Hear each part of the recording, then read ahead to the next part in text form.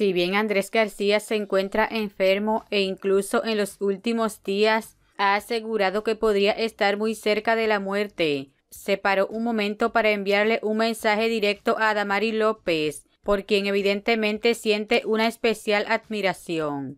Fue acostado en su cama que el actor mexicano envió saludos a todo el equipo de Telemundo, pero hizo una excepción con la presentadora boricua. Deseo lo mejor para todos y sobre todo a Adamari López, que es la muñequita preciosa más linda que tiene Telemundo. Le deseo lo mejor para este año y para el que viene. Le dejó saber García. López no pudo dejar de reaccionar a estas hermosas palabras y le respondió con el mismo cariño.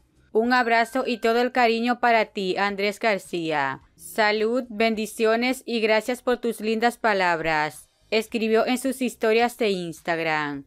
Hace unos días, García comunicó a sus seguidores que su estado había empeorado y que le podía quedar muy poco tiempo de vida a causa de la cirrosis hepática.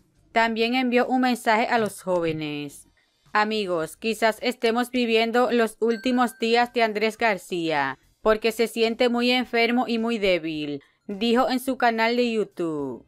Quiero con toda amabilidad y cariño del mundo advertirle a los jóvenes y a los no tan jóvenes sobre la cirrosis hepática. A mí me acaba de dar, dijo. Piénsenlo, porque a los 82 años me acaba de dar esta enfermedad. Créanme, no es agradable, advirtió.